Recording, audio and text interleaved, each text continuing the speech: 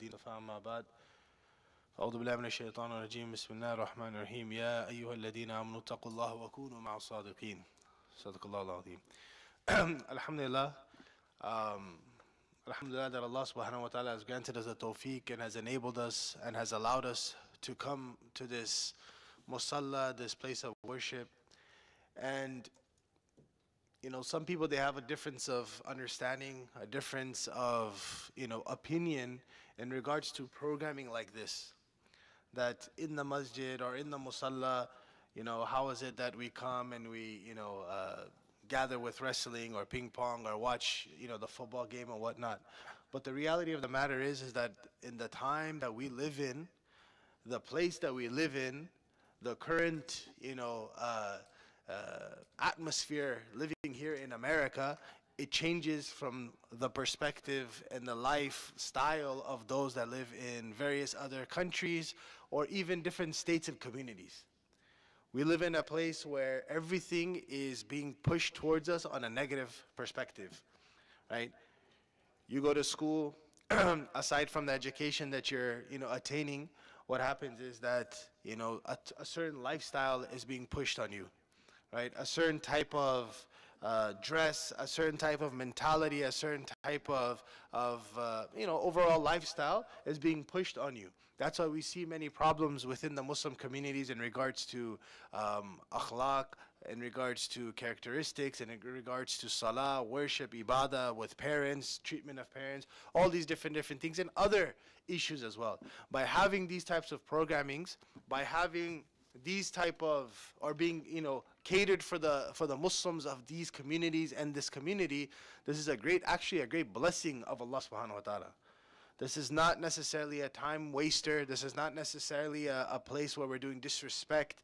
The reality is is that what is our intention? And this should be our intention. What is our intention? Our intention is that we gather the youth, we gather the brothers and the sisters or whoever in the community, and we have halal programming. Whereas if, for example, if this brother wasn't here today, he would watch the football game, possibly with you know some friends. What are those friends involved in? How are those friends? Where are those friends? Right? Let's go with our non-Muslim friends you know there's drinking there's there's uh, you know unlawful uh, food haram food non-halal food whatever type of gathering you know sit they sit there. Right now there's a halftime show. We know what takes place on a halftime show. It's singing and dancing and all the other stuff. Commercials. Usually for beer commercials and and, and you know uh, cigarette commercials and all sorts of but now we're here we're sitting and we're talking about Allah subhanahu wa ta'ala verses of the Quran ayat of the Quran is being mentioned right not too long ago, we prayed Salatul Asr. Salatul Maghrib is upon us, right? And I was speaking to one of the brothers that imagine being in a gathering outside of the musalla or the masjid, and this takes place, right? It regardless, we would have watched the football game, right?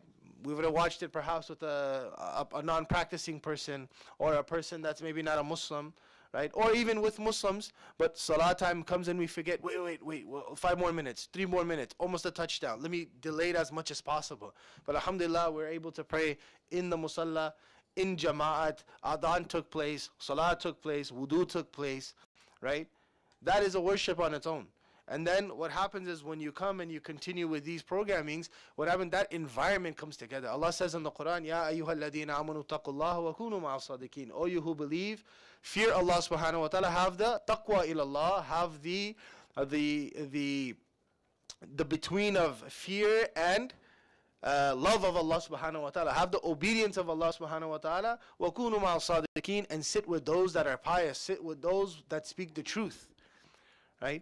Alhamdulillah, we're here. We're amongst the brothers. I was talking to one of the youngsters. All he was, him right here, all he was talking to me about was, you know, different uh, sheikhs and masjid. And I live by this masjid. My brother is this. He, he did hifz. And, you know, that's a great environment. You know, mashallah, we're talking. I was, I was just talking to uh, brother Yawer, and he was talking about wrestling, and he was talking about his his his. And as soon as we walked in, he said, "Where can I buy this topi?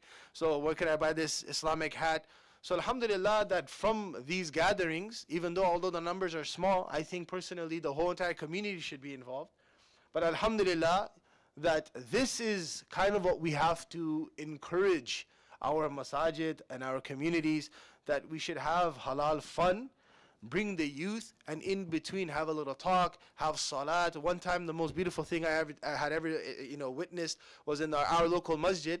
We had a UFC watching right? We had a UFC watching. We also had a projector just like this. We had dividers because you know the place is much smaller, so we had like a little divider, and on that side was a projector and watching the UFC fight. And there was people, there were people also from my own family that I can guarantee you never pray, never pray or make sajda. But on that day, from Salatul Dhuhr to Salatul, I think Maghrib, we, I think we were there till Maghrib Salah. Every single prayer, they made wudu and they prayed bil Jamaat. And let's say, inshallah, this is not the case, but let's just say they don't make any other worship until the time they pass away. Inshallah, that little, those little, you know, those those two, three prayers that they prayed, that little ibadah that they made, inshallah, inshallah, will become a sabab al-nijat, will become a means of them entering to Jannah. From what? Watching a UFC fight.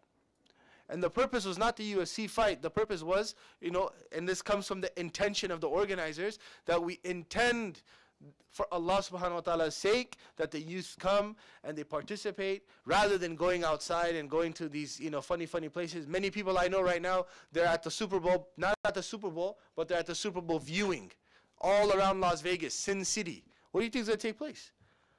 What do you think is going to take? All types of crazy madness is going to take place. But we see that same exact Super Bowl, we see that exact game, that exact pass, that exact fumble, touchdown, interception, whatever takes place, right? Right here, right? In a place where Salah will take place soon. Salah did take place, right? We come and, you know, mashallah, sports is being taken place, and this is, this is good for the body.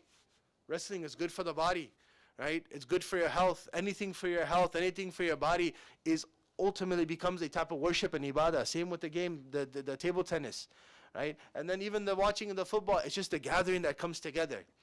So understand that comes in a hadith, the Prophet says, Al-maru ala dini khalili, and I'll end with this inshallah so we can resume.